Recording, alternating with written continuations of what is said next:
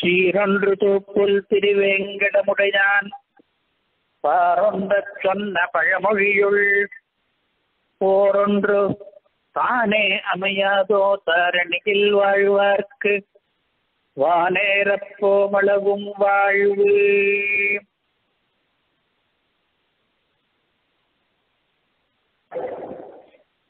வீரராகவம் குரும் वीतरागमाश्रये वीक्षणेन यस्य मे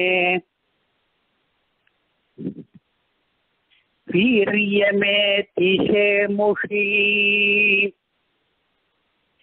இது ஆச்சாரிய வந்தனம் திருமலை ஈச்சம்பாடி மதுராந்தகம் வீரராகவாச்சாரியர் என்கிற குருவை ஆசிரியிக்கிறேன்.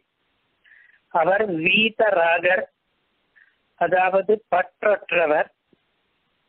அவருடைய வீக்ஷணத்தினாலே அதாவது கிருபா கட்டாட்ச கட்டாட்சத்தினாலே அடியனுக்கு ஷேமுஷி வீரியம் ஏதி. மூளை பலப்படும் வீரியத்தை அடையும். என் அறிவு சிறப்பதற்காக அந்த ஆச்சாரியனை அடியேன் ஆசிரியிக்கிறேன். மிக சிறியதொரு விரத்தத்தில் அமைந்த ஸ்லோகம் இது. ஒவ்வொரு பாதமும் வி என்ற எழுத்திலே ஆரம்பிக்கிறது. இந்த பத்தியம் இந்த ஆச்சாரியரை இந்த காரணங்களாலே உகப்பிக்கும். இப்போது ஹயக்ரீப வந்தனம். दिशन्तु मे देव सदा त्वदीयाः दयातरङ्गानुचराः कटाक्षाः।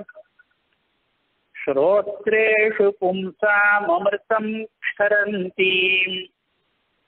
सरस्वतीम् संश्रितकहमधेनुम्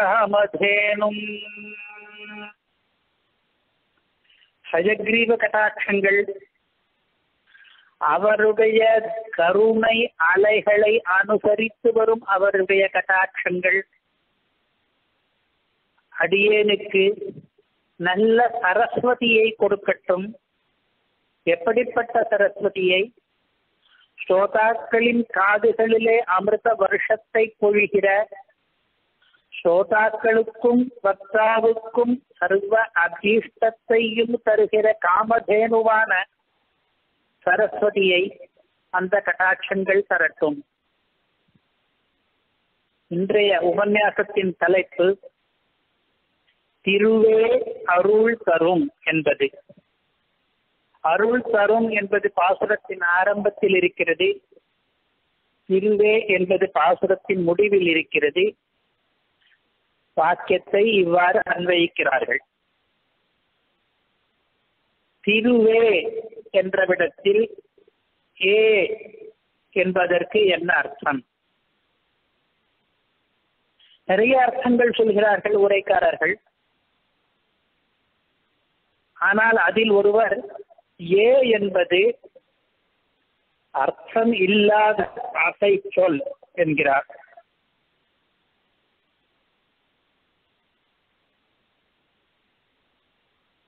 இன்னொரு உரைக்காரர்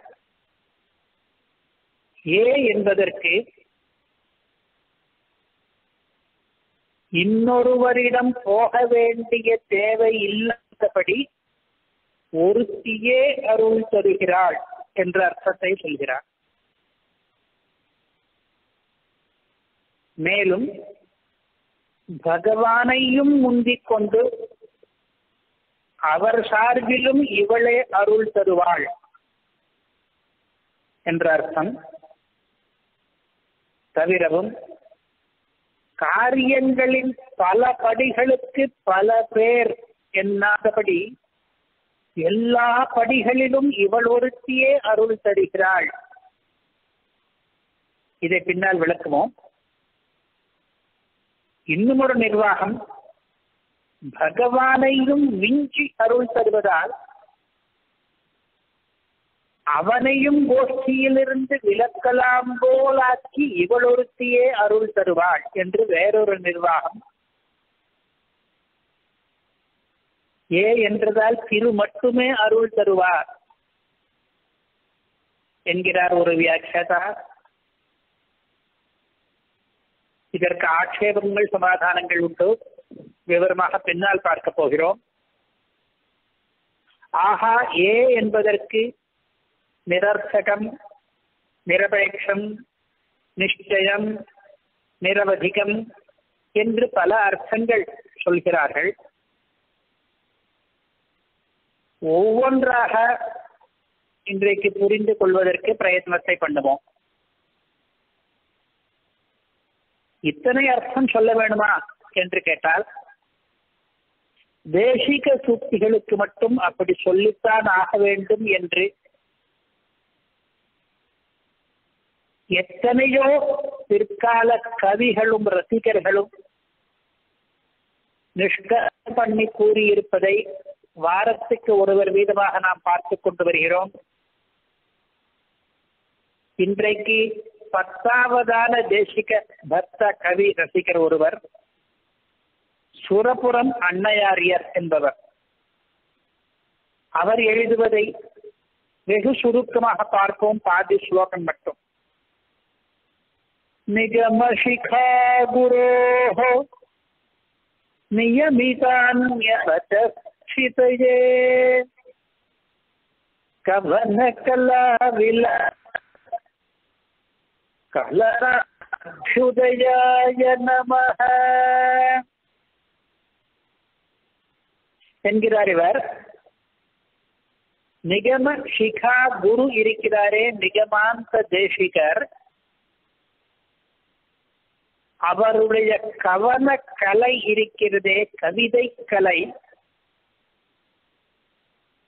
அந்த கலையினுடைய விலாசம் கலனம் அபியுதயம் அந்த கலையினுடைய சிறப்புக்கு அதன் மேன்மைக்கு நான் நமஸ்காரம் பண்ணுகிறேன். தேசிகனுக்கு நமஸ்காரம் பண்ணுவது இருக்கட்டும். அவருடைய கவிதை திறனுக்கே அதனால் வரும் மேன்மைக்கே ஒரு நமஸ்காரம். ஏன் என்றால் அதில் அப்படிப்பட்ட கவிதை திறன் இருக்கிறது. நியமிதே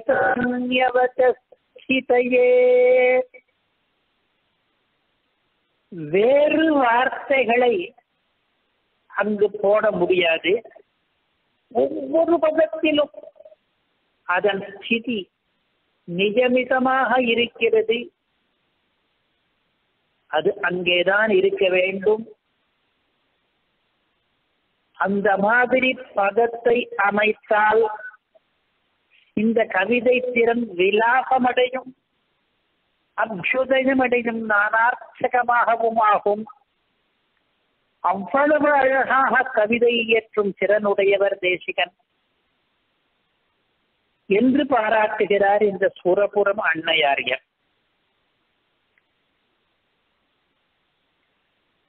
இருப்பினும் நின் திருவே என்ற கடைசி சொல்லில் இருக்கும் ஏ என்பதற்கு அர்த்தம் சொல்லாவிட்டாலும் பரவாயில்லை என்று ஒரு வியாக்கியானம் சொல்வது ஏன்? என்றால் சற்று தமிழ் இலக்கணத்தை ஆராய வேண்டும். தமிழ் இலக்கணத்திலே சொல் பொருள் யாப்பு அணி என்று வகைகள் இருக்கின்றன. ஏ என்பது அசை சொல். அதற்கு அர்த்தம் சொல்ல வேண்டாம் என்கிறார்கள். மின் திரு என்பதோடு நிறுத்திவிடலாம் அர்த்தத்திற்கு.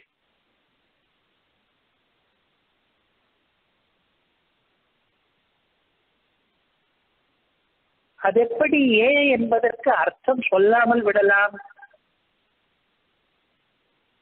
அர்த்தம் இல்லாமல் கவிஞர்கள் கையாளுவார்களா பதங்களை? வடமொழியிலே ஏவா என்றோ ச என்றோ பதம் வந்தால் அதற்கு அர்த்தம் விவக்ஷிதம் இல்லாமலே கையாளலாம் என்று நல்ல கவிஞர்களுக்கு சொல்வது கிடையாது. அதனாலே நமக்கு முதலிலே ஆக்ஷேபம் தோணக்கூடும். பொருள் இல்லாத சொல் என்றார் ஆனால் ஏ என்பது அசை நிறைப்பதற்காக மட்டும் வரக்கூடிய சொல் என தமிழ் இலக்கியத்திலே பல இடங்கள் காண்கிறோம். உதாரணமாக திருவாய்மொழியின் முதல் பத்து பாசுரங்களிலே கடைசி வரிகளிலே கவனித்து பார்ப்போம். உயர்வர உயர்நலம் என்று ஆரம்பிக்கிறது. பாசுரம் எப்படி முடிகிறது? தொழுதழன் மனநே என்று முடிகிறது. அந்த ஏ என்பதற்கு அர்த்தம் இல்லை என்று யாரும் சொல்லவில்லை. அதற்கு விழிக்குறிப்பு என்று அர்த்தம். சம்போதனம். என்னுடைய மனசே என்று கூப்பிட்டு தொழுது எழு என்று சொல்கிறார். ஆனால் முதல் பாசுரத்தில் மட்டும்தான் இப்படி அர்த்தத்துடன் ஏ.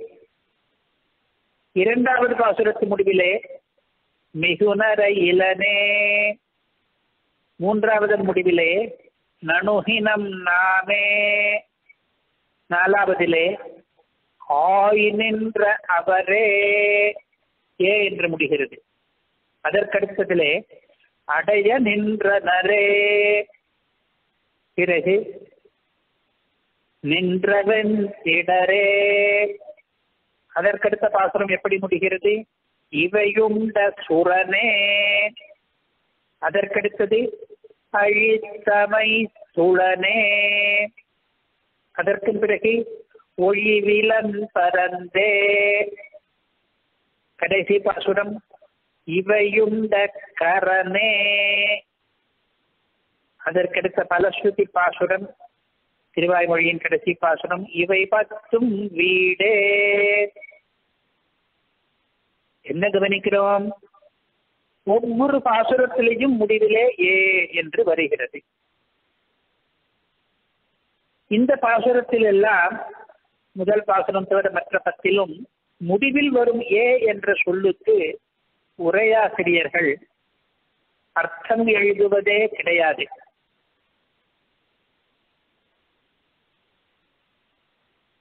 இது தமிழ் இலக்கியத்தில் உள்ள ஒரு குறிப்பு. முதல் திருவாய்மொழியில் மட்டும்தான் இப்படி என்று இல்லை. அடுத்தது வீடுமின் முற்றவும் என்று தொடங்குகிறதே இரண்டாம். அதுல எப்படி இருக்கிறது என்று பார்ப்போமா? வீடுமின் முற்றவும் மற்ற வரிகளை எல்லாம் மனசுக்குள் சொல்லி பார்த்து கொண்டு கடைசி வரிகளை மட்டும் ஒவ்வொரு பாசுரத்துக்கும் வாய் விட்டு சொல்லி கேட்போம் இப்போது. அடுத்த திருவாய்மொழியிலும் இதே நிலைதான். வீடு மின் வீடு செய்தும் உயர் வீடுடையாண்டு வீடு செய்மினே. மின்னின் நிலையில் அமர்ந்த இராத்துகள் என்ன விடத்திரை? உண்மையின் நீரே. உண்ணுவதும் திரு நேர் நிறை இல்லே. இல்லது உள்ளது நல்லது ஒன்று எல்லையில் புல்கு பற்றற்றே முற்றிலடங்கே இடங்கையில் அடங்குக உள்ளே உள்ளிலொடுங்கே விடும்பொழுதென்னே திங்கழல் சேரே ஓர்த்தவிப்பத்தே எல்லா பாசுரங்களும் ஏ என்று முடிகின்றன. இந்த ஏகாரத்துக்கு அர்த்தம் சொல்லுகிற வழக்கம் இல்லை. அசை நிறைக்கும் சொல் என்று விட்டு விடுவோம். அதுபோல இந்த மும்மணிக்கோவை பாசுரத்திலும் கடைசியில் திருவே என்றதில் உள்ள ஏ என்பதற்கு அர்த்தம் சொல்லாமல் விட்டுவிடலாம் என்று கருதுகிறார் ஓர் உரையாசிரியர் நவநீதம் சுவாமி.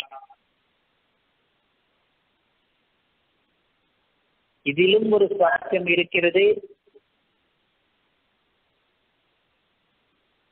தமிழ் இலக்கியம் பற்றிய ஒரு இலக்கண குறிப்பை நாம் புரிந்து கொண்டோம்.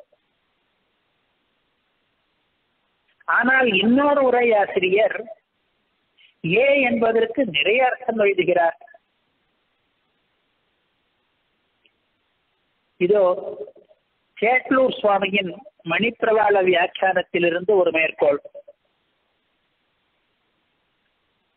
அலமேஷா பரித்ராதும் ராகவாத்ராட்சசீகணம் என்கிறபடியே பெரிய பிராட்டியாரே சர்வானிஷ்டங்களையும் போக்கடித்து சர்வேஷ்டங்களையும் கொடுக்கும்படியான கிருபையை செய்யும் என்றபடி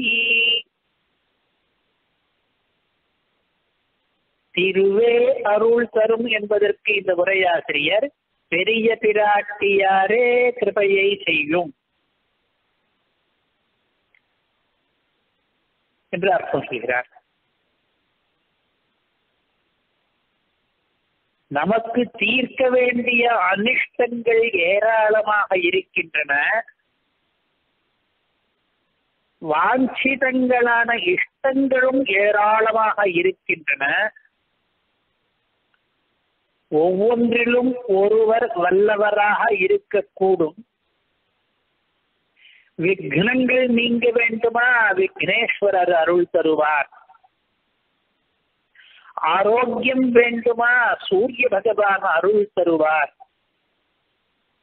பாவங்கள் கரைய வேண்டுமா? கங்காதேவி அருளுவாள்.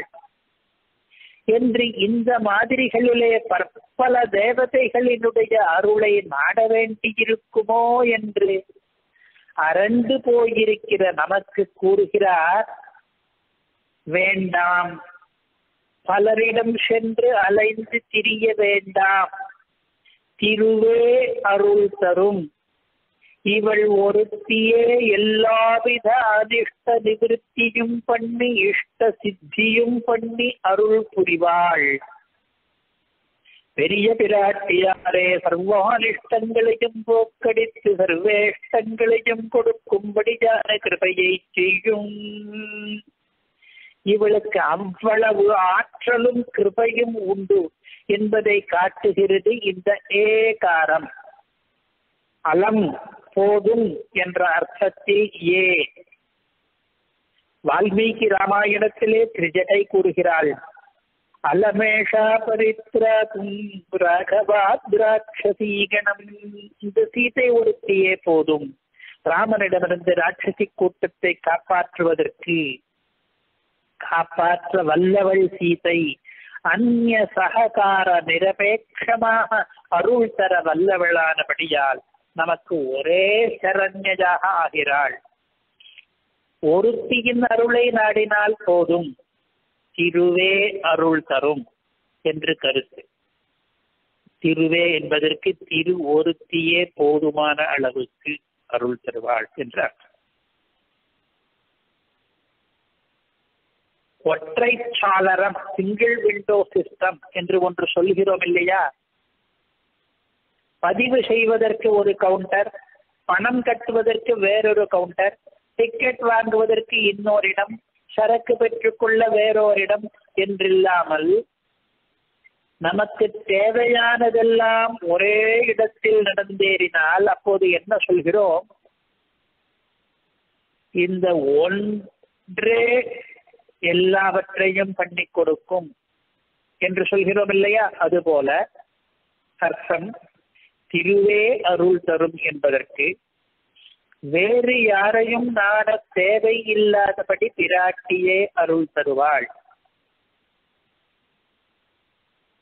கல்வியா செல்வமா வீரமா என்று பல முனை விகல்பங்களை பண்ணிக்கொண்டு கல்வி தேவதையான சரஸ்வதியா செல்வத் தேவதையான லக்ஷ்மியா வீரத் தேவதையான துர்க்கையா என்று இவர்களுள்ளே ஒருத்தியை தன் தேவைக்கேற்ப தெரிந்தெடுத்து ஆசிரியிக்க தேவையில்லாதபடி எல்லாவற்றையும் இவள் ஒருத்தியே தருவாள் என்ற அர்த்தத்திலே கிருவே அருள் தரும் என்று சொன்னதாக புரிந்து கொண்டோம். இதுவரை ஏ என்பதற்கு இரண்டு நிர்வாகங்கள் சொன்னோம். அசை நிறைவுக்காக வந்த பொருளில்லா சொல் என்று ஒன்று. வேறு எவரையும் நாட தேவையில்லாதபடி அவள் ஒருத்தியின் அருள் மட்டுமே நமக்கு போதும் என்பது இரண்டாவது. இப்போது மூன்றாவது தாற்பயத்துக்கு போவோம். நாம் ஒரு காரியமாக வேண்டும் என்பதற்காக அரசனிடம் போகிறோம். அப்போது ராஜா வரை போகாமல் இடையிலே வந்த மந்திரியே அத அந்த காரியத்தை நமக்கு நிறைவேற்றி கொடுத்து விட்டால் நாம் என்ன சொல்கிறோம்? மந்திரியே பண்ணி கொடுத்து விட்டார் என்கிறோம் இல்லையா? அதுபோல இங்கே தெய்வநாயகனிடமாக வேண்டிய காரியத்துக்காக புருஷகாரம் நாடி திருமகளிடம் வந்தால் அவளே அந்த காரியத்தை நிறைவேற்றி கொடுத்து விட்டால் திருவே அருள் தரும் என்று சொல்லலாம் இல்லையா? இந்த அர்த்தத்தை விளக்குகிறது ஒரு வியாக்கியான வரி அன்றிக்கே திருள் தர நின்ற தெய்வநாயக நின் திருவே அருள் தரும். நீ எனக்கு ஞானாதிகளை கொடுப்பதற்காக பாரித்து கொண்டு நிற்க அதற்கு முன்னமேயே அதற்கு அனுகுணமான கிருபையை பிராட்டியே பண்ணா நிற்கும் என்றாகுமாம்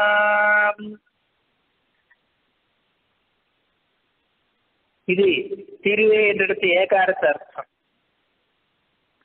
மேலதிகாரியிடம் சிபாரிசு பண்ணுவதற்காக எவரிடம் போனோமோ அவரே காரியத்தை முடித்து கொடுத்து விடுகிறாரே இந்த ராஜ்யத்திலே. தெய்வநாயகா நீ எனக்கு ஞானம் பக்தி முதலியவற்றை கொடுப்பதற்காக பாரித்து கொண்டு நிற்கும் பொழுது நீயே தானோன்முகனாக அருளாளனாக இருக்கும் போது உன்னோடு போட்டி போட்டுக் கொண்டு அதற்கு முன்னமேயே அதற்கு அனுகுணமான கிருப்பையை அருளை திராட்டி பண்ணிவிடுகிறாள் என்று அர்த்தம். தான் ஆடாவிட்டாலும் தன் சதை ஆடும் என்கிறது ஒரு தமிழ் பழமொழி. அதுபோல இருக்கிறது தெய்வநாயகன் அருளுவதற்கு முன்னரே அவனுடைய திருவே அருள் தந்துவிடும். தெருள் தர என்ற தெய்வநாயகன் அருள் தருவதற்கும் உன்முகனாயிருக்கும் போது அவனுடைய சார்பிலே அவனுடைய திருவே நமக்கு அருள் தந்துவிடும் என்று கருத்து. இதுவரை ஏ என்கிற ஏவகாரத்துக்கு மூன்று கருத்துகளை பார்த்தோம். இப்போது நாலாவது. நாம் பணம் பெறுவதற்காக ஒரு வங்கிக்கு போகிறோம். பேங்க் அங்கே படிவத்தை நிரப்புவதற்கு கூட ஃபாரம் ஃபில்அப் பண்ணுவதற்கு கூட நமக்கு தெரியாத நிலையிலே ஒரு சிப்பந்தியை அணுகுகிறோம். அவர் உபகாரி. இலவசமாக அன்புடன் நமக்கு ஃபார்ம் ஃபிலப் பண்ணி தருவதோடு நிற்காமல் தேவையான தொகையையே முதலில் கொடுத்துவிட்டு மிச்சமுள்ள ஃபார்மாலிட்டிகளை எல்லாம் நம் சார்பில் அவரே பண்ணிக் கொள்வதாக சொல்லிவிட்டால் நாம் என்ன சொல்லுகிறோம் படிவம் நிரப்பியவரே பணமும் கொடுத்து விட்டார் என்கிறோம். அது போலவாம் இங்கு. இப்பொழுது வியாக்கியான சுத்தி திருவே அருள் தரும் என்பதற்கு அடியிலே தொடங்கி சைதன்யஸ்தன்யதாயினியாய் பிறகு புருஷகார பூசையாய் அஸ்துதே என்கிற அனுகிரக விசேஷத்தினாலே உபாய பூர்த்தியை உண்டாக்கும் என்று தாத்பரியம் இது வியாக்கியான சுத்தி நமக்கு சைத அறிவுடைமை என்கிற முளைப்பாலை எவள் அளித்தாளோ தாய்ப்பால் கொடுத்த தாயார். நம் சார்பிலே பகவானிடம் எவள் பரிந்துரை பண்ணுகிறாளோ சிபாரிஷ் பண்ணுகிற தாயார். அவளே அந்த திருவே நமக்கு உபாய பூர்த்தியையும் பண்ணி அருள்கிறாள். காரிய சித்தி முடியும் வரை தானே தன் பொறுப்பாய் நின்று கவனித்துக் கொள்ளுகிறாள் என்று தாத்பரியமாம் திருவே அருள் தரும் என்பதற்கு. ஒரு ஏணியில் ஏறி உயர போக வேண்டுமானால் அந்த ஏணியருடைய முதல் படி தொடங்கி கடைசி படி வரை இவள் ஒருத்தியே துணையாக நின்று உயர ஏற்றி விடுகிறாள். என்பதால் திருவே அருள் தரும் என்றார். இதுவரை திருவே என்பதற்கு நாலு தாத்பரியங்களை வியாக்கியானங்களிலே கூறியுள்ளபடி புரிந்து கொண்டோம். இனி ஐந்தாவது வியாக்கியான சூக்தி.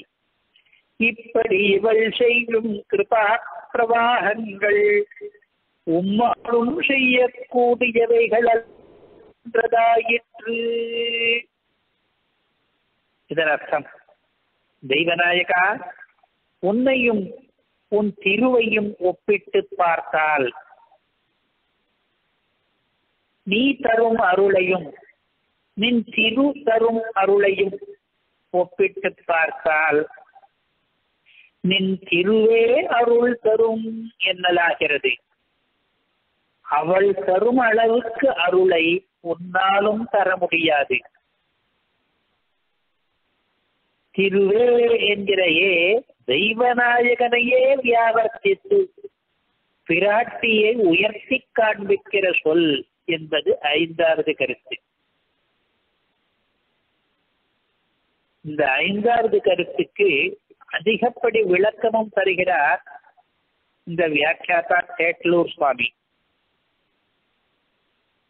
அதுவுமன்றிக்கே சாபராதரான நமக்கு பிதிருத்வ பிரயுக்தமான ஊஷ்மளத்வ உடைய உண்மை போலன்றியே மாதృత్వ பிரயுக்த நிரவதிக வாத்சல்யாதிகளை உடையவளான பிராட்டியே கிருபை செய்பவள் என்றாகவுமா. இதனுடைய அர்த்தம் நாம் குற்றவாளிகள். சாபராதர் என்றால் குற்றவாளி. தெய்வநாயகன் நமக்கு தந்தை போன்றவர். பிதிருத்துவம் அவருக்கு இருக்கிறது. தந்தை என்றாலே கோபமும் இருக்கும் தண்டித்தலும் இருக்கும்.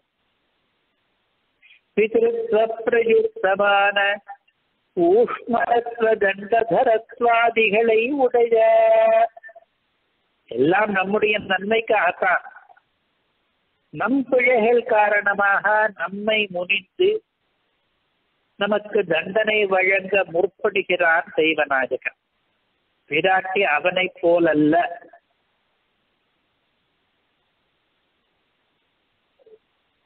உம்மை போலன்றியே கிருபை செய்பவள். பிராட்டியோ அன்னை போல இருக்கிறாள். வாத்சல்யம் மேலிடுகிறது. மாதృత్వ பிரயுக்த நிரவதிக வாத்சல்யாதிகளை உடையவளான பிராட்டி எல்லை மீறிய அன்பு முதலிய குணங்களை உடையவளான அவளே கிருபை செய்பவள். அவள் பரிந்துரையால் தெய்வநாயகனே நீ கிருபை செய்தாலும் அவளே கிருபை செய்பவள் என்பது யுக்தம். அவளுடைய கிருபை என்றோ உன் கிருபைக்கு ஏதுவாகியது? நீ கிருபை பண்ணவில்லை என்னவில்லை. ஆனால் உன் கிருபைக்கும் காரணமாகும் திருவே அருள் தரும் என்கிறேன். உன் கருணையை எனக்கு பெற்று தந்த கருணையல்லவோ கருணை? அதை தருபவள் நின் திருவே. ஆகையால் உன்னோடு ஒப்பிட்டு பார்த்தாலும் நின் திருவே அருள் தரும் என்று எம் கருத்து. இந்த கடைசி கருத்து சற்று விவாதத்துக்குரியது. திருவே அருள் தரும் என்பதற்கு தெய்வநாயகன் கூட வேண்டாம். திரு ஒருத்தியே போரும் அருள் தருவதற்கு என்று பெருமாளை வியாவர்த்திக்கலாமா என்று ஆட்சேபம் உண்டு. சம்பிரதாயத்தில் எப்படி சொல்லவில்லையே. நின் திருவருளும் பங்கஜத்தாள் திருவருளும் கொண்டு என்றுதானே ஆய்வார் சொல்கிறார்.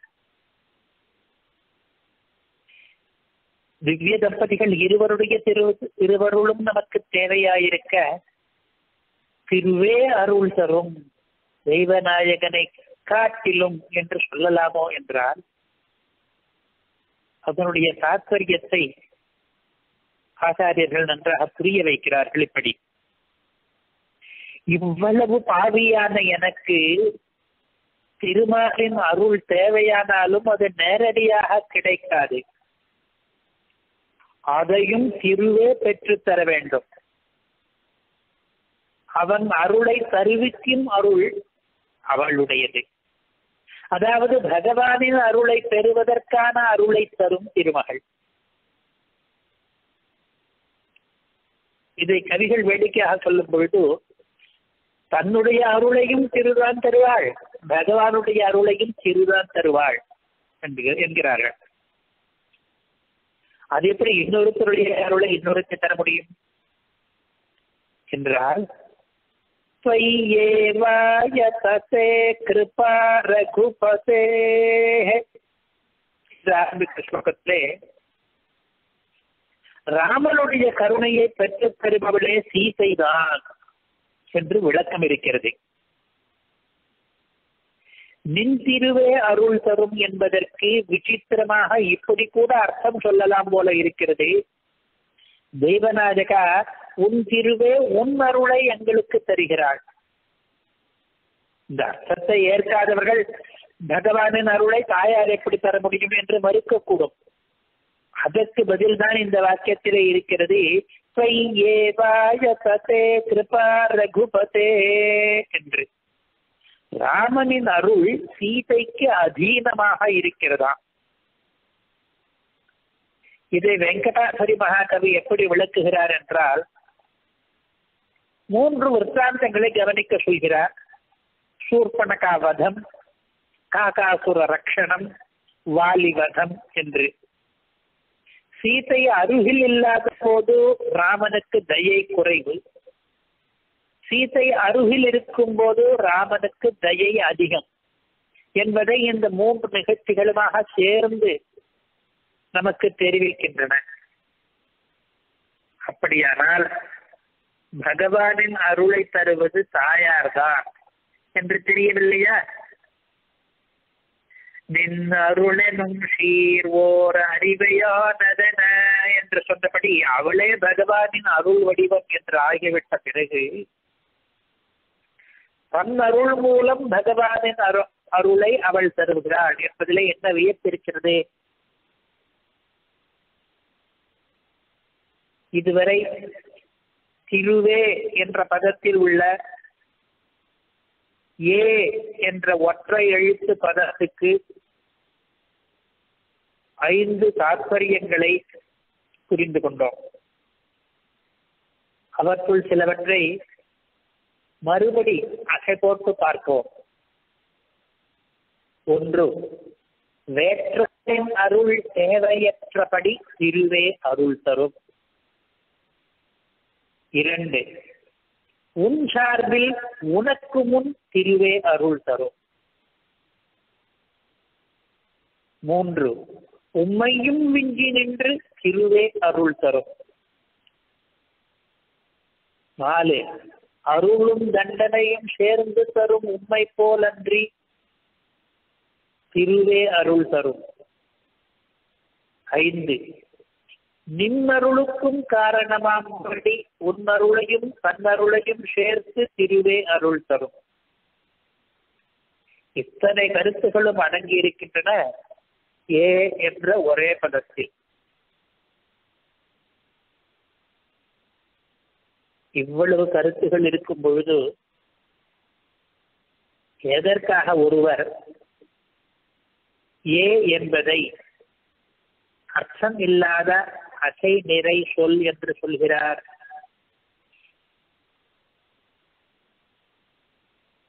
அது தவிர அர்த்தமே இல்லாமல் ச வை து கி என்று பாத பூரணார்த்தமாக பதங்களை போட்டால் அவரை நல்ல கவி என்று நாம் ஒப்புக்கொள்ள மாட்டோமே. சம்ஸ்கிருதத்திலே இல்லாதபடி தமிழிலே மட்டும் அனாவசியமாக ஏ என்று போட்டு முடிக்கலாமோ? என்றெல்லாம் நமக்கு கேட்க தோணுகிறது. ஏ என்பதற்கு அகராதியிலே அர்த்தங்கள் என்ன என்று பார்க்க தோணுகிறது. அதிலே பார்த்தால் எத்தனையோ அர்த்தங்கள் போட்டிருக்கிறார்கள்? நாம் இதுவரை சொன்ன அர்த்தங்கள் கூட இருக்கின்றன. இசை நிறை ஈ ரசை என்பது நாம் முதலில் கூறிய அர்த்தத்தை அவர்கள் விளக்குகிற பிரகாரம். ஈற்றசை என்றால் இரு என்றால் முடிவு ஆத முடிவிலே பெரும் இசை நிறைவுக்காக வந்தது என்று. அந்த அர்த்தமும் போட்டிருக்கிறார்கள். போதும் என்கிற அர்த்தத்தையும் போட்டிருக்கிறார்கள். பிரிவின் குறிப்பு என்று சொல்லி அதுக்கு ஒரு உதாரணமும் கொடுத்திருக்கிறார்கள் அகராதியிலே இவற்றுள் ஒன்றே பார்ப்போம் என்றால் அந்த ஒன்றே போதும் என்று அர்த்தம். இது நாம் கூறிய இரண்டாம் அர்த்தம். நாம் கூறிய மூன்றாவது அர்த்தத்தை தேற்ற குறிப்பு என்கிறார்கள் தமிழிலே. நானே தான் வந்திருக்கேன் என்றால் வேறு எவரும் இல்லை என்ற கருத்து கிடைக்கிறது.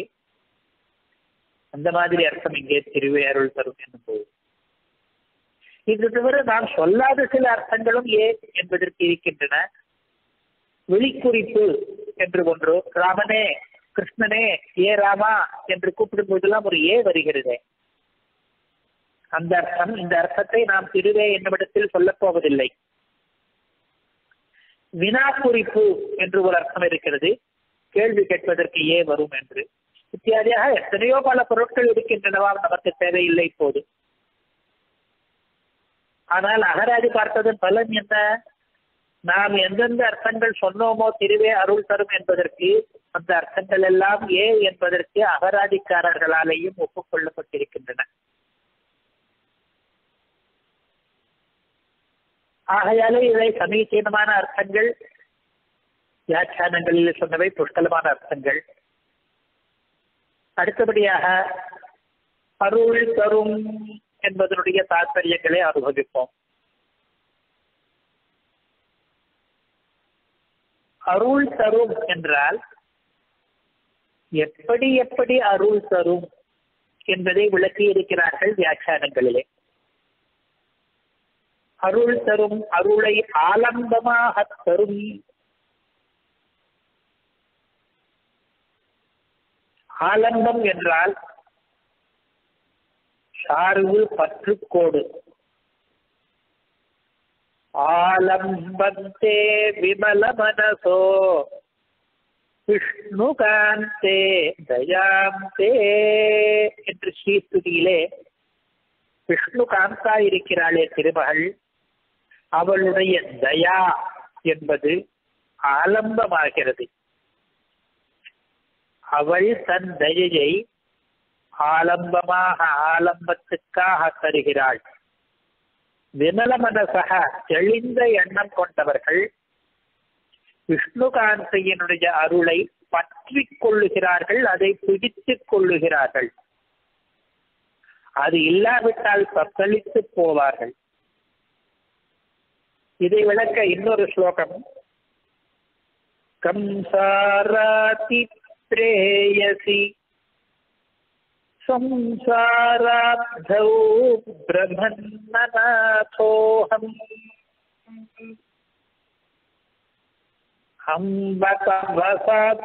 अम्बकवसध्वकम्पाम्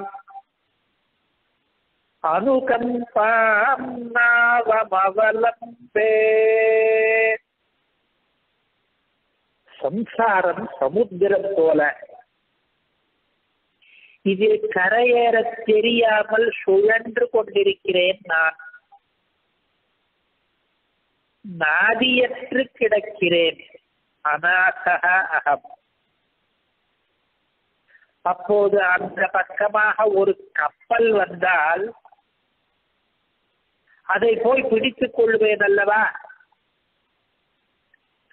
அப்படிப்பட்ட கப்பலாக எனக்கு கிடைத்திருக்கிறது தாயாரே உன் கருணை என்பது. கரை தெரியா கடல் நடுவில் கைதூக்கி கதருங்கால் கமலையே உன் கருணை கப்பலென கண்ணில் படும். அலைபொங்கும் அர்ணவத்தில் அமிழ்ந்தலையும் அனாதைக்கு அம்முதையின் அருள் ஓடம் அவலம்பம் ஆகிவிடும்.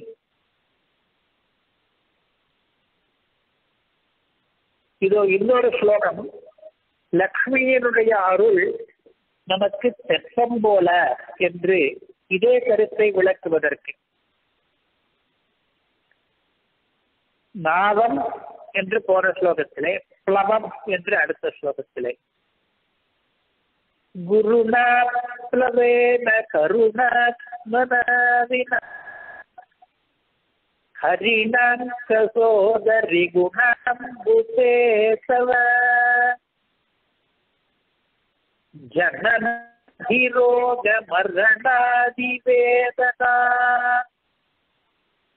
வருணாலயஸ்ய சரணாய காததிஹி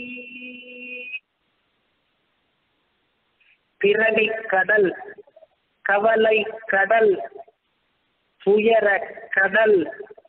இது ஜன ஆதி ரோக மரணாதி வேதனா கருணாலயம் என்கிறார். இது நாங்கள் வீழ்ந்துள்ள கடல். நீயோ குணம்புதே குணக்கடல்.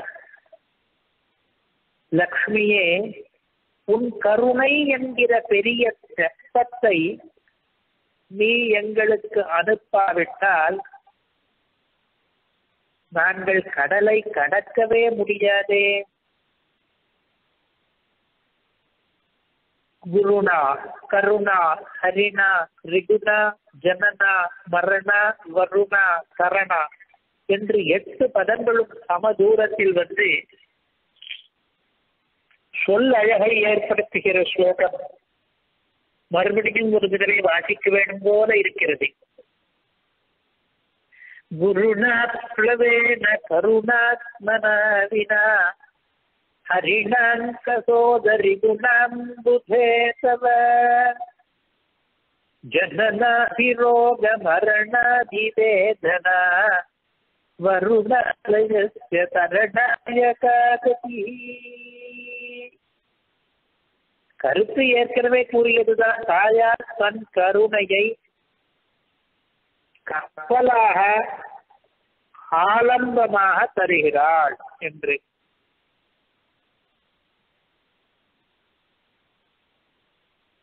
அடுத்த அர்த்தம். அருள் தரும். அருளை கடாட்சத்தின் மூலம் வெளிப்படுத்தி தரும். இதை விளக்குகிறது ஸ்ரீஸ்துதியில் இன்னொரு ஸ்லோகம். சானுப்ராச பிரகடித தயை சாந்திரவாத்சல்யதிக்தைஹி சானுப்பிராகம் மீண்டும் மீண்டும் தயை வெளிப்படுமாம் அவளுடைய பார்வைகளிலே. பார்வையையே கருணா கட்டாட்சம் என்று சொல்கிறோம் அல்லவா? தயை உள்ள பார்வை. தயா தரங்கானுச்சர என்று தெய்வத்தின் கட்டாட்சத்தை தயா தரங்கத்தின் அனுசர கட்டாட்சமாக சொல்வது வழக்கம் தானே அருள் தரும் எப்படி தரும் என்றால் கட்டாட்சம் மூலம் தரும். அருள் என்பது ஒரு திரவியம் கிடையாது. அதை தரும் என்றால் கையால் எடுத்து தரும் என்று கிடையாது.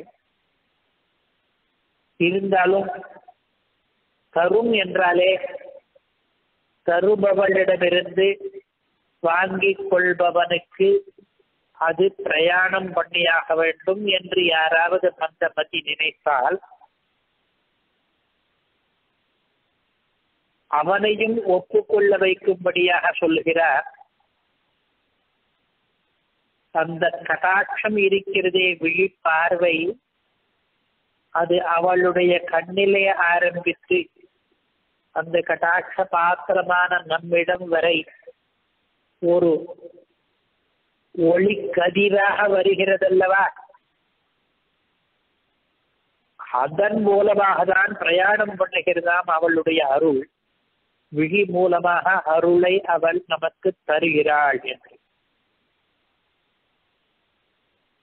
அருள் தரும் அருளை பலபடியாகவும் முழுமையாகவும் தரும். இதை விளக்குகிறது வியாக்கியாத சுத்தி இப்படி. இப்படி ஆசிரிதர் அஜானாந்தகாரத்தை போக்கி உபாயோபயுக்த சமயஜான பிராபகாத்தியவசாய பிராபகாந்தர அனன்வய அனுவத்தியனுகுண மனசமாத்மோத்பாதிகையாய்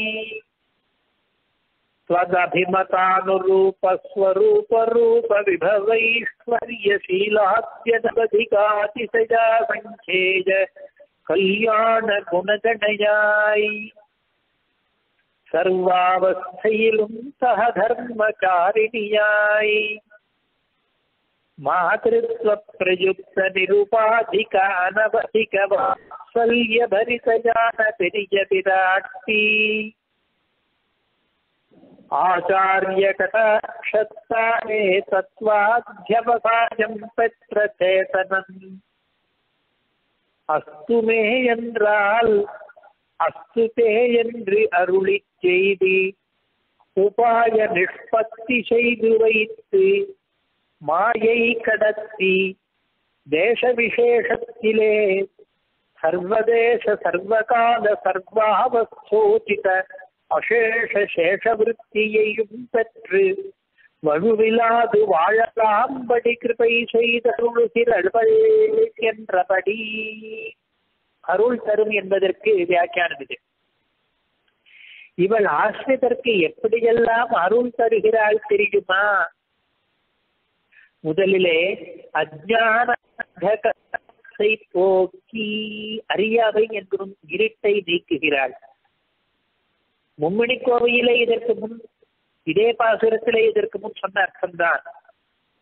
இருள் செகவன ஒளி விளக்காய் என்ற வரியிலே ஏற்கனவே கூறினபடி அஜானம் என்னும் அந்தகாரத்தை நீக்கி அருள் தரும். இது அருள் தருவதன் முதல் பிரகாரம். அதற்கு பிறகு உபாயோபயுக்த சமயக் ஞான. வேண்டுரை கேட்டு மீண்டவை கேட்பித்து என்ற வரியின் பல அர்த்தங்களில் ஒன்றன்படி நமக்கு தேவையான சதர்த்தங்களை ஆச்சாரிய ரூபேண நின்று உபதேசித்து நமக்கு நல்ல அறிவை கொடுத்தருளும் என்பது இதை உபாயோபயுக்த சமயஜான உத்வஹதிகையா என்கிறார் அதற்கு மேலே பிராபகாத்தியவசாய என்று ஒன்றும் இதுவும் மும்மணிக்கோவை பாசுரத்திலே அணிஜமராக தலங்கலா இலங்கி என்ற வரியினுடைய பல கருத்துகளிலே ஒன்றின்படி நமக்கு இன்னார்தான் பரம்பொருள் என்று தானே லட்சணமாக நின்று காட்டி என்று அர்த்தம். இதுவும் அவள் அருள் தருவதிலே ஒரு பிரகாரம். பிராபகாத்தியவசாயம் ஏற்படுத்தி அருள் தரும். அதன் பிறகு பிராபகாந்தர அனன்வய அருள் தருவதிலே இன்னொரு பிரகாரம்.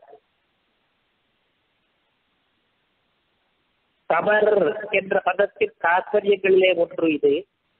நமக்கு தேவதாந்திர சம்பந்தம் ஏற்படாமல் பண்ணி நல்ல எண்ணங்களும் செயல்களும் அனுவர்த்திக்கும்படியாக மன உறுதியை கொடுத்தருளும். அனுகுண மனசமாதான உற்பாதிகையாய் என்பது வரையில் போய் அர்த்தம் சொன்னோம் அதற்கடுத்து நின்படிக்கெல்லாம் தன்படி ஏற்க அன்புடன் என்ற வரியில் கூறியபடி தெய்வநாயகனுக்கு ஏற்ப அன்புடன் இருந்து அருள் தரும். அதற்கடுத்து நின்னோடு அவதரித்தருளி என்ற வரியில் கூறியபடி எல்லா நிலைகளிலும் அவருக்கு சகதர்மச்சாரிணியாக இருந்து அவதார தசைகளிலே கூட அருள் தரும். அதற்கடுத்து தன்னடி சேர்ந்த தமருனை அணுக என்ற வரியில் கூறியபடி மாத்திரு வாத்சல்யத்துடனே ஹிதங்களை பண்ணி அருள் தரும். மேலும் வேண்டுரை கேட்டு மீண்டவை கேட்பித்து என்றதன் இன்னொரு அர்த்தப்படி அஸ்துதே என்று திருமுக பாசுரமிட்டு அருள் தரும். பிறகு உனை அணுக என்று சொன்னபடி உபாயத்தை சித்திக்க வைப்பது மாயையை கடத்துவது மோட்ச சாம்ராஜ்யத்தை தருவது முதலிய அநேக விதங்களிலும் அருள் தரும். அதற்கும் மேலே மோட்சத்திலே கூட நின்னுடன் சேர்ந்து நிற்கும் நின் திருவே என்ற வரியின் பல அர்த்தங்களில் ஒன்றின்படி நம் கைங்கரியங்களை ஏற்றுக்கொண்டு அருள் தரும். இவ்வாறாக திரு அருள் தருவது எவ்வப்படியாக என்ற கேள்விக்கு விடை இதே பாசுரத்தில் முன் வரிகளில் இருப்பதாக காட்டுகிறார் இந்த வியாக்கியாதா கோபி கன்னிகாதானம் தாசதேசிகன் என்கிற உரையாசிரியர். இதுவரை அருளை எப்படி எப்படியெல்லாம் அவள் தருவாள் என்று வினவிக்கொண்டு பல பதில்களை பார்த்தோம். அருளை அவலம்பமாக தரும். அருளை விழி மூலமாக தரும். அருளை இப்பாசுரத்தின் முன்வரிகளில் கூறிய ரீதிகளிலெல்லாம் தரும் என்று மூன்று பதில்களை கேட்டோம் இதுவரையில். அருள் தரும் யாருக்கு? இது அடுத்த கேள்வி. இதற்கும் மூன்று பதில்கள். அபராதிக்கும் அருள் தரும் குற்றவாளிக்கு. நீச்சர்க்கும் அருள் தரும் தாழ்ந்தவர்களுக்கு. அடைந்தவர்கள் அனைவருக்கும் அருள் தரும் ஆசிரியருக்கு என்பதாக பதில். அவள் அடிசேர்த்தும் அருள் தரும். காளிதாசனுடைய ரகுவம்சத்திலிருந்து ஒரு பாதி ஸ்லோகம். பனீஷ பாதாதிமுகம் நிதாய ஸ்வயம் கராட்சியாமுபகிருண்ணதி சா காக்காசுரன் கதையைத்தான் சொல்கிறார் காளிதாசர் ஆனால் வால்மீகி ராமாயணத்தில் இல்லாத ஒரு அம்சத்தை சேர்த்து சொல்கிறார். காக்காசுரன் வைதேகியினுடைய மார்பகத்தை கீறி அபசாரப்பட்டான் என்பது அதனால் வெகுண்டு எழுந்த ராமன் ஒரு புல்லிலே ஒரு திருணத்திலே பிரம்மாஸ்திரத்தை தொடுத்து விட்டான் என்பது உலகெல்லாம் சுற்றியும் விடுபட முடியாமல் ராமனிடமே அந்த காக்கா கடைசியிலே சுருண்டு விழுந்தது என்பது ராமன் அந்த காக்காவினுடைய கண்ணை மட்டும் பறித்து கொண்டு உயிர் பிழைக்க விட்டு விட்டார் என்பது இதெல்லாம் வால்மீகியே விவரித்திருக்கிற கதைதான். ஆனால் அந்த காக்கா ராமன் அருகிலே துவண்டு விழுந்த போது அப்போது சீதை என்ன பண்ணினாள்? வால்மீகி இது பற்றி ஒன்றும் சொல்லவில்லை. காளிதாசன் வர்ணிக்கிறார் தாறுமாறாக விழுந்து கிடந்த காக்கையை தன் இரு கைகளாலும் எடுத்து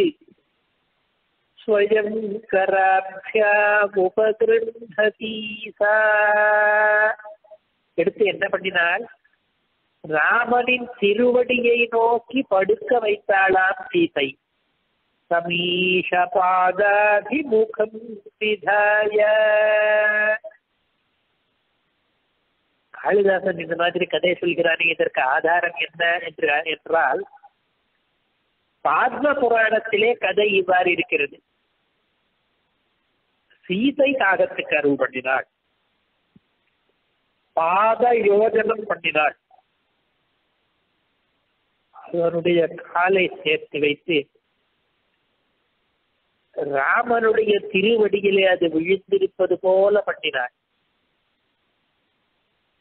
சீதை அருள் தருகிற விதத்தை பார்த்தால் அப்பப்பா தன்னிடம் ஈர குற்றம் புரிந்த காக்கையை கூட தன் கைகளாலே தொட்டு ராமனின் திருவடி பக்கமாக திருப்பி விட்டாளாமே அவள். சீதை அப்படி பண்ணும் பொழுது ராமன் அதை கொல்ல முடியுமோ? சீதையே அருள் தந்து விட்டாளே.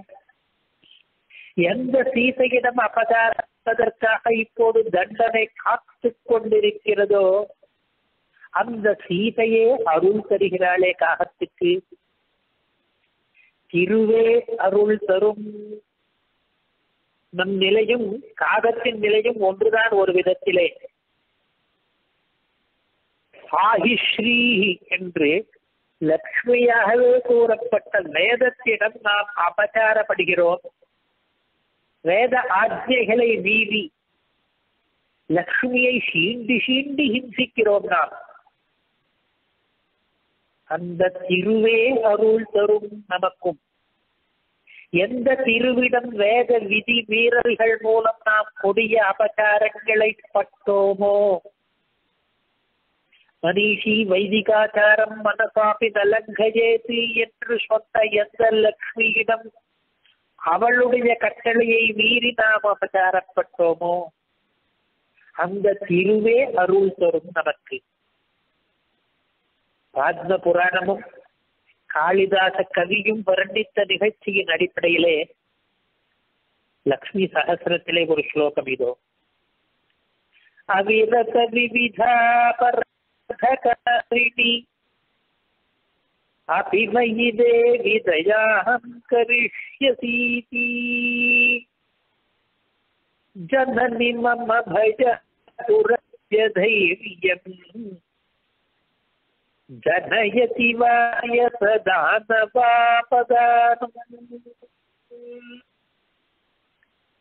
நான் பயந்தான் கொள்ளி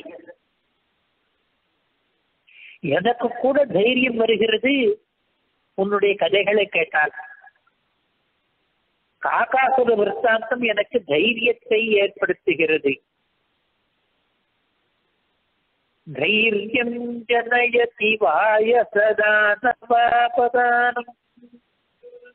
அந்த காகத்தையே நீ காப்பாற்றினாயாமே. அப்பாடா என்னையும் நீ காப்பாற்றுவாய்.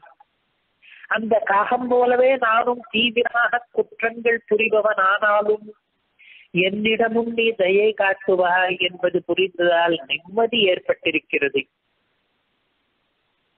பல பலவாய் பாவங்கள் பண்ணுகிற போதினிலும் பத்மையின் பார்வையில் பட்டதனால் பாயும் அருள். அவள் அனைவருக்கும் அருள் புரிவார் அந்தரன் கொண்டடி பணிவார் எல்லாருக்கும் அருள் புரியும். தேசிக எல்லாருக்கும் என்பதை பராசர பட்டர் இவ்வாறு விளக்குகிறார். இடம் போதாதோ என்ற பிரச்சனையே கிடையாதாம் அமைவளுக்கு இவளுடைய கருணைக்கு இலக்கானவர்கள் விஷயத்திலே இடப்பற்றாக்குறையே கிடையாது. புஷ்பக விமானத்தில் எப்படியான பேருக்கு வேண்டுமானாலும் இடம் போதுமோ? அதுபோல தாயாரினுடைய கிருபை எத்தனை பேருக்கு வேண்டுமானாலும் இடமளித்து பாத்திரமாக்கிக் கொள்ளும். ஸ்ரீவைகுண்டத்திலே இட நெருக்கடியே ஏற்படாது. என்று சொல்ல வந்த பராசர பட்டர் விஸ்வமாருசாவகாசம் என்கிறார். இத்தனை பேருக்கு மேல் இங்கே இடம் கிடைக்காது. என்ற நிலையே ஏற்படாது. உச்ச வரம்பு எதுவும் தேவையில்லை. ஜனதா எல்லையே இல்லாத பொதுமக்கள் விஷ்ணமிப்பதற்கு ஏற்ற இடம் உண்டு ஸ்ரீவைகுண்டத்திலே. எது போல? ஸ்ரீதேவியே உன்னுடைய கிருபையில் ஓய்வெடுக்க எத்தனை பேருக்கு இடம் என்பதில் எப்படி உச்சவரம்பே கிடையாதோ அது போல. இந்த திருஷ்டாந்த அலங்காரம் பட்டருடைய கவிதை திறனை நமக்கு காட்டுகிறது. திருவே அருள் தரும் தான் வருந்தியாவது பிறருக்கு அருள் தரும் தான் அவதாரம் பண்ணி பிறருக்கு அருள் தரும் ஸ்ரீகுலரத்ன கோஷத்திலே மே துர்நித்ய சகாயினி ஜனனினः त्रातुं त्वमत्रागत लोके त्वं महिमावबोधबधिरे प्राप्तविमर्शं बहु क्लिष्टं ग्रावसुमालती मृदुपदं विश्लिष्य वासो वने जातोऽधिकरुणां धिगस्तु युवयोः சுவாதந்திரியமத்தியங்குஷம் எங்களை காப்பாற்றுவதற்காக கணவனுடன் நீயும் அவதரித்தாய்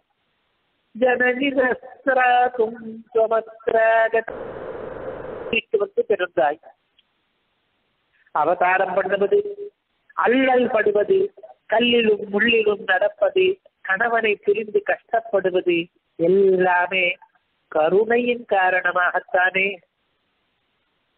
லோகத்திலே என்ன பார்க்கிறோம்? கருணை உள்ளவர்கள் பிறருக்காக கஷ்டப்படுவதை பார்த்திருக்கிறோம். ஆனால் அவர்கள் மீது பரிவு கொண்ட சிலர் அந்த கருணாளுக்கள் மீது பரிவு கொண்ட சிலர் அவர்களது சுவாதந்திரத்தை பறித்து அவர்களை கஷ்டப்பட விடாமல் தடுக்கிறார்கள். திவ்ய தம்பதிகளுக்கு பாவம் சுவாதந்தியமும் கருணையும் சேர்ந்து விட்டது. யாரும் தட்டி கேட்பார் கிடையாது. என்ன விளைவு? அவசைப்படுகிறார்கள் சுவாதந்திரியம் சுதந்திரமானவர்களுக்கு இவ்வளவு கருணை இருந்தால் சீச்சி என்று ஆக்கும் அளவுக்கு கஷ்டப்படுத்துகிறதே. அம்மா கருணை மிகுதியால் தானே நீ அவதாரம் எடுத்தாய். கருணை மிகுதியால் தானே உனக்கு கொடுமை. உன்னுடைய கருணை உனக்கு கொடுமை இழைத்துக் கொண்டே பிறர்க்கு நன்மை பயக்கிறதே என்கிறார். இப்பொழுது ஒரு இலக்கண சந்தேகம். அருள் தரும் என்ற இடத்திலே. அருள் தருவாள் என்றல்லவா சொல்ல வேண்டும்? திரு என்பது உயர்தினை பெண்பால் அல்லவோ? அருள் அவன் தருவான் அவள் தருவாள் அது தரும் என்றால் சரி. திருமகள் தரும் என்னலாமோ என்று ஆட்சேபிக்க வேண்டாம். தமிழிலே செய்யும் என்னும் வாய்ப்பாட்டு வினை முற்று என்று ஒன்று இருக்கிறது. அதன்படி அவன் செய்யும் அவள் செய்யும் அது செய்யும் என்ற எல்லாமே இலக்கணப்படி சரியாகும். திருவாய்மொழியிலே கங்குளும் பகலும் கண் துயிலறியாள் கண்ணநீர் கைகளால் இறைக்கும் சங்கு சக்கரங்களென்று கைகூப்பும். தாமரை கண்ணென்றே தளரும் என்ற வரிகளை கவனித்து பார்த்தால் துயிலறியாள் என்று ஒருத்தியை கூறி அவள் இறைக்கும் கூப்பும் தளரும் என்று வாக்கியம்.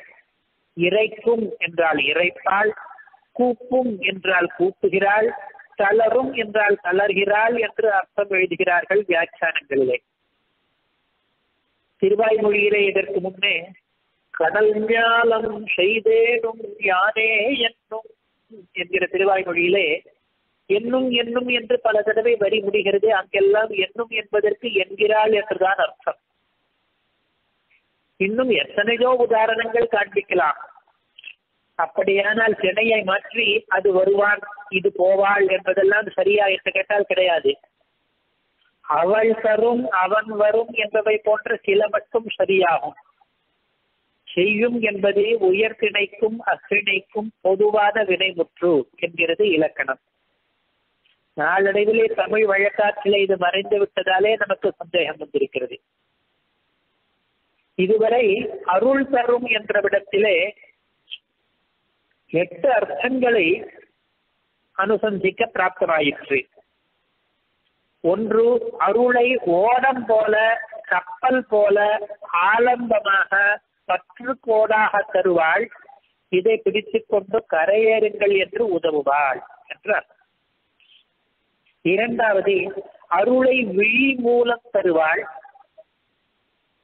மூன்றாவது எந்தெந்த செயல்கள் மூலம் அவள் அருள் தருகிறாள் என்றால் இருள் செகுதல் ஆகத்து இளங்கள் வேண்டுரை கேட்டல் மீண்டவை கேட்பித்தல் என்று இந்த பாசுரத்திலே நிறைய சொல்லி நின்னுடன் சேர்ந்து நிற்றல் என்பது வரை விளக்கிய ஒவ்வொரு செயலுமே அவள் நமக்கு அருள் தரும் விதத்தின்பால் படும் என்றது மூன்றாவது கருத்து.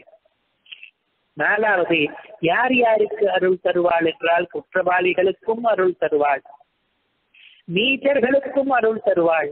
அருள் வெள்ளம் பெருக்கிடும் போது உயரத்தில் ஏறி பாயாமல் பள்ளத்தில் பாய்வது இயற்கைதானே என்று இதை விளக்குகிறது தயா சதகமும் லக்ஷ்மி சகஸ்தமும் வெவ்வேறு விதங்களிலே விளக்கம் நேரம் இல்லாதது காரணமாக நாம் இதை இன்று விவரிக்கவில்லை. ஆறாவது அடைந்தவர்கள் எல்லாருக்கும் அருள் தருவாள். இத்தனை பேருக்குத்தான் அதில் எதுவும் உச்சவரம்பு கிடையாது இடப்பற்றாக்குறையும் கிடையாது. ஏழாவது தன் அருளை தருவது கிடக்கட்டும். தெய்வநாயகனின் அருளையும் அவனுடன் சேர்ந்திருக்கும் திருவே பெற்றுத் தருவாள். எட்டாவது தான் வருந்தியாவது பிறருக்கு தன் அருளை தருவாள் என்று எட்டு கருத்துகளை இங்கே நினைத்து பார்க்க பிராப்தமாயிற்று. திருவே என்ற ஏகாரத்துக்கும் ஐந்து அர்த்தங்களை கேட்டோம். அருள் தரும் என்பதிலும் எட்டு கருத்துக்களை கேட்டோம்.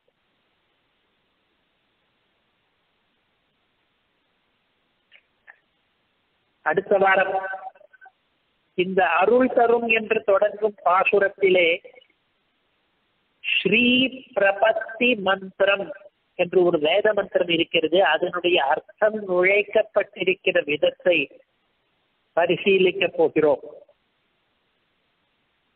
வியாக்கியாதாக்கள் காட்டியிருக்கும் வழியிலேயே இதை புரிந்து கொள்ளப் போகிறோம். ஆகையால் அடுத்த வார தலைப்பு இப்பாசுரத்தில் ஸ்ரீ பிரபத்தி மந்திரத்து அர்த்தம் என்பது. அடுத்த வாரத்திலே இந்த பாசுரம் நிறைவுறுகிறது. அதற்கடுத்த வாரம் மும்மணி கோவையின் இரண்டாம் பாசுரத்துக்கு போக போகிறோம். ஸ்ரீரார் புல் திருவேங்கடமுடையான் திருவடிகளே சரணம்.